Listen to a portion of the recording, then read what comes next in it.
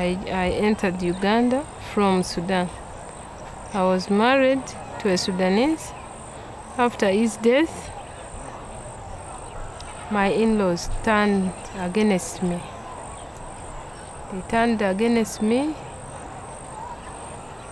They tortured me, almost killed me. We are hoping for good thing, for the good of my children, not me. Me now, I'm old. I don't mind my life, but for the for my children, can do anything for the good of my children.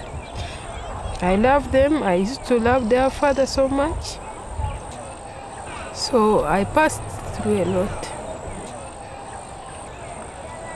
I think too much. My sleep is not okay. I sleep little and you get I get myself awake. But my mind all the time thinking too much, too much. A lot in my mind. I have a lot in my mind.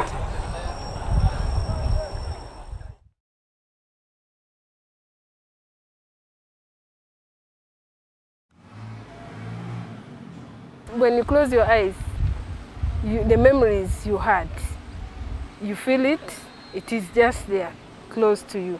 But when you start meditating, it's like somehow something is going off you. And you feel you are, you are relaxing. You, your mind, your body relaxes. Eh? You feel you're out of outside world. You are just in your peaceful world.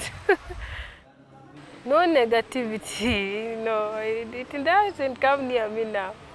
Because if, if I had that negative, by this time I would have already told you, all tears coming.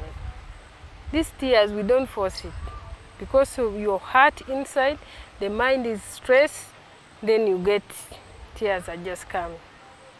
Can't control. But now when the mind is fresh, you see, even if you want me to cry now, I can't. I can't. it is not there in me. Wow, I sleep. I'm telling you. Wow, I sleep. Those days you could remember. I could cry, tell you this. I wake up midnight remembering how I was raped, how I was hit badly, my arm, my breast uh, burnt.